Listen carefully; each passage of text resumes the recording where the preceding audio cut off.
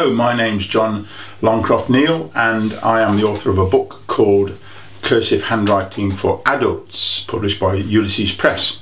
And this video is to accompany that book.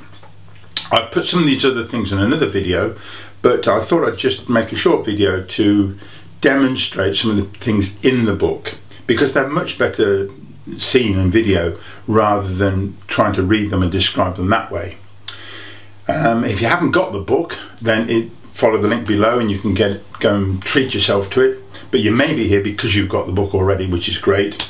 And so I'll go through some of the ideas that are in the book, just the introductions really. I won't go through the whole lot. Uh, some of the main points about the rhythm and the speed and the way that you would uh, do the handwriting. Okay, so let's press on. Well, first things first. Um, the paper I'm using is just regular print paper. You don't have to use anything that's too elaborate. Like anything like this will really do fine. Um, you can get some very smooth paper which is difficult to use because the pen or pencil just slip off it. Secondly, I'm only going to use for most of this is a pencil. I have got another pen here which is a, a drawing pen, uh, 0.8 of a millimeter, um, which is very nice.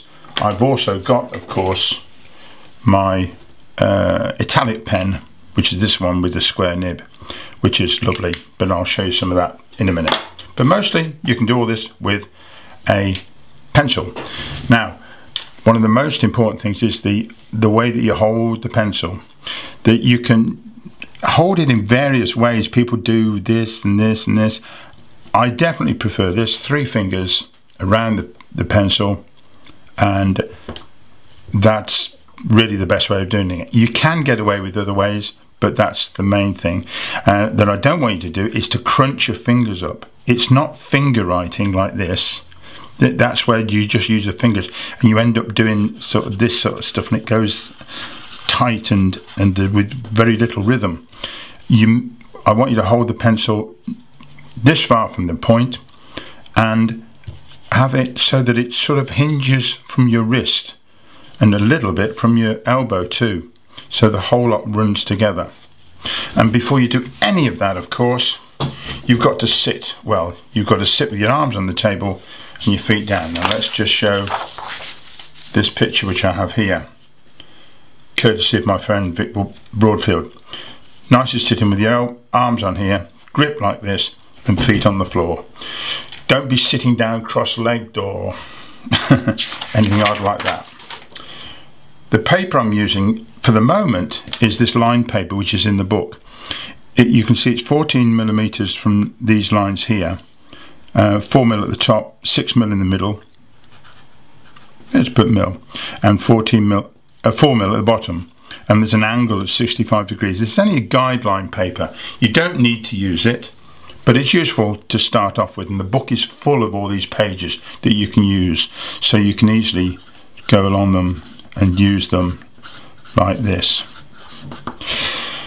Right, okay, so you're holding the pencil correctly, you're sitting correctly, and you're not holding it too loosely. And the first thing I want you to, to get right is this rhythm, the rhythm in which we write. And I've drawn a little car, and the car has got two wheels that look like that.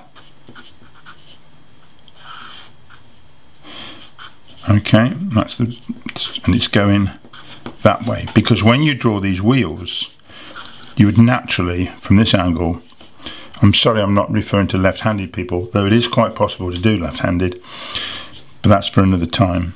The, the curve of the wheel leans forward, and it leans forward roughly at that 65 degree angle. And by doing so, you then can form A, B, C, D. They all have this wheel shape in. E would fit in there as well. One of the things I'd like to demonstrate on video is the speed at which you write because and the speed and the rhythm it's not laboriously slow but it's not very quick but there's a sort of um, a feel to each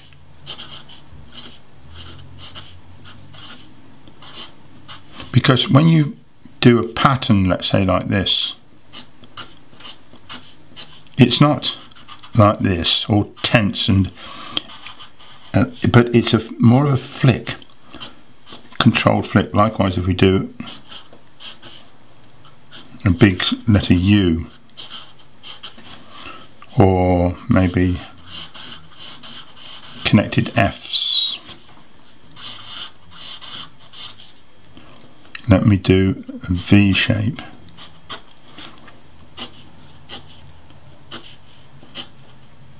notice it's, it's more of a a flick down rather than a definite line all the way along. So when you do that, you tend to get um, a more of a, a, a consistent and uh, rhythmic stroke.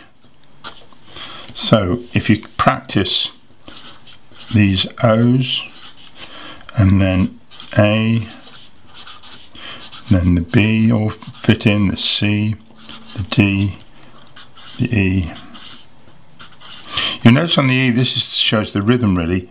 Because the curve of the E is the main part, I do one and then round, one, then round. You'll see there's a slight pause, I suppose with the letter A.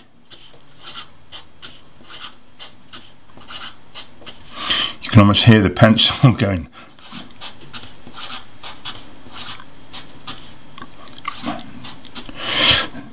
can see the rhythm which goes around there, down and then just flick up. This rhythm is important to get this right and it's it's nice to stop between each of the letters as you do this. So let me just write that.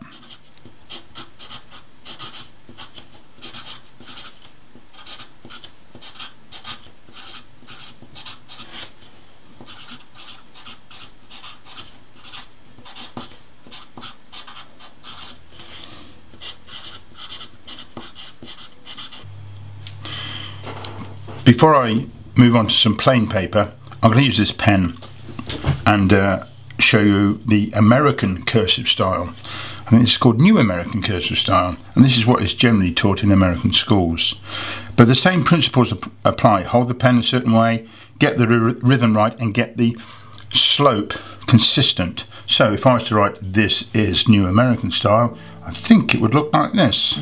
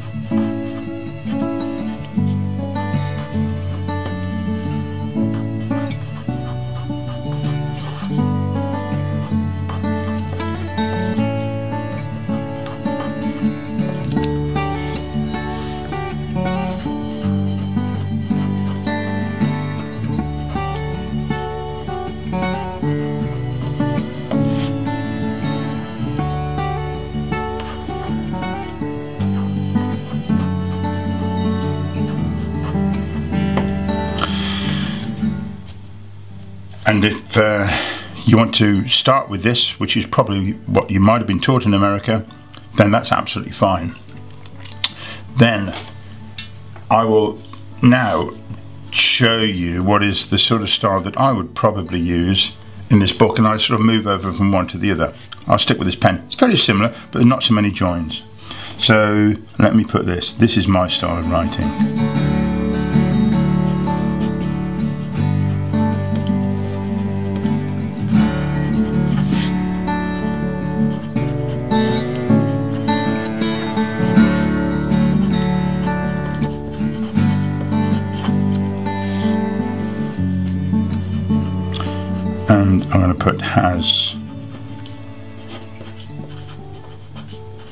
Fewer joins.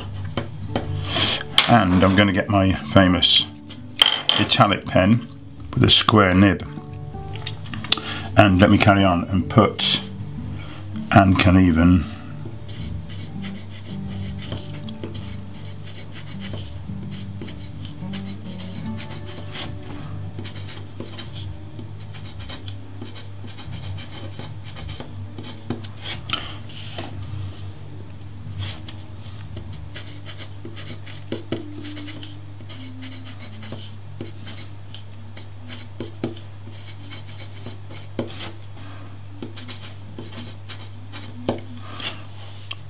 Right, let me just explain the italic nib.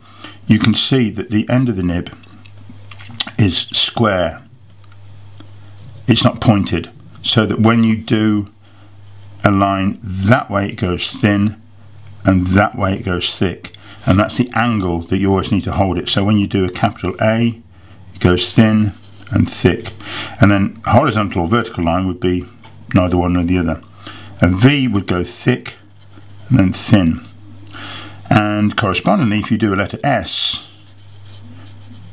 it rather beautifully goes um, thick when you go in that direction and thin when you go in that direction.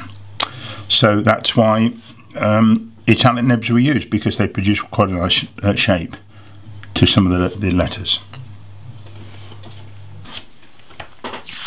Right I'm going to move away from this paper and go freehand because really that's the next stage. You don't need lines um, I'll stick with the pencil for a moment. I just want to talk about the joins. People think that cursive means everything is joined up. I'm not hung up on this. Some people say that's not cursive because it's not joined. So I might write like this and stop there and do the S differently. And so they're not all joined together. For me, that's not vitally important, but I know most people have learned that to start with, and you may want to stick with it. But it's uh, it's not really printing printing because printing would be, and some people think this is babyish to go, and that is, but this is joined as and when, let's put it that way. So let me write that. Join the letters as uh, actually I took off there. I didn't join because you've got to go from there up to there on the D. And if you're going to write the word and and go all the way over to there that's a bit of a so I find just as easy to do that. So there is in fact no join there. That should have joined with that. Join the letters as and when you like. Let me just do that with joins. When you like. And with a, an American style, you'd have a loop in there as well, so you'd have. And uh, if you like that, stick with it but um, my preferred style in the end does not have those loops in. So the word like would just be straight. It can be that these things come uh, can be a little bit illegible if you're not careful. I have two more things I'd like to show you and I'll use this fountain pen which has got as you can see a pointed nib because I'm not going to make use of it other than just to make some straight marks. The first one is flourishes and the flourishes just long sweeping tails and decorative parts mostly to capital letters so flourishes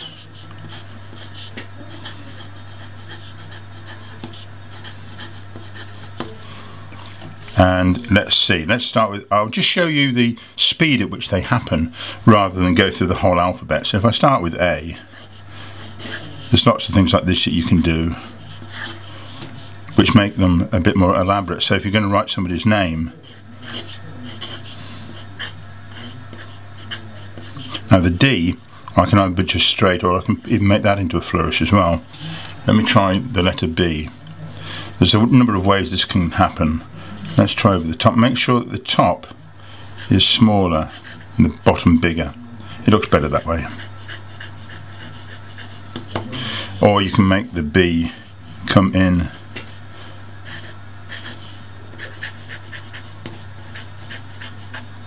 At the top that way. C doesn't have much so I'll just show you D. And we can do D. Like that or possibly from the top. So if you're going to do an address maybe to write the name with a big um, flourish like that and the name of the street I think it looks pretty nice. Right finally just show you some shadings of uh, capital letters. Another way you can make the capital letter, the first letter, um, fairly elaborate and with the pen I showed you before that was thin and that became thick. So I'm going to draw it this time with just a straight nib. So if a letter A would look like that. And because this is a uh, regular ink, it will stay wet for a moment. If I put a blob there and then just hopefully get this right, just slide it down and you get quite a so Alfred might look like that and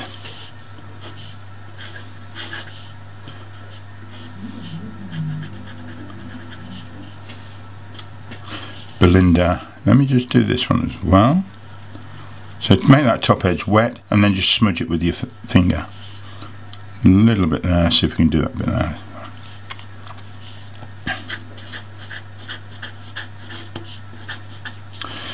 Um, C would look pretty good.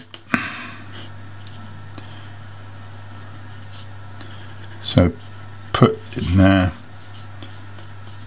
I'll finally do an E couple of flourishes on this one.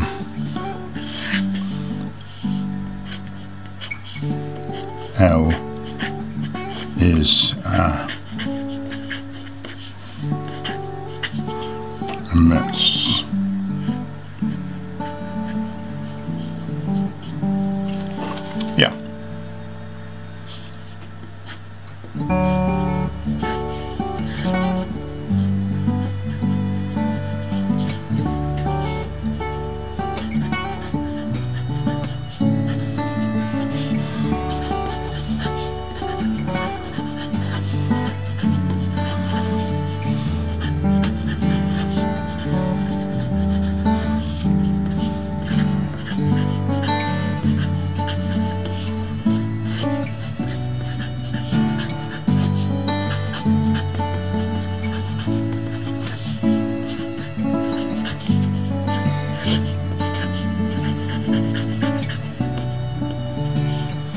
So thanks for buying my book, Cursive Handwriting for Adults.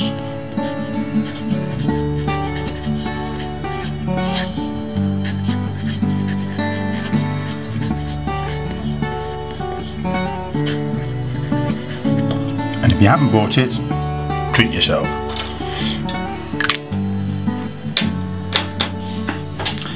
Well, uh, thanks for watching and I hope that helps. And uh, if you haven't bought the book, uh, by all means go and follow the link below and it's available from Amazon and probably other places too. Um, right, so don't forget to hit the subscribe button below and join my merry band of subscribers and also hit the little bell and then you get notifications of any more stuff that I might put forward. Right, okay, thank you very much for watching and happy handwriting. Bye bye.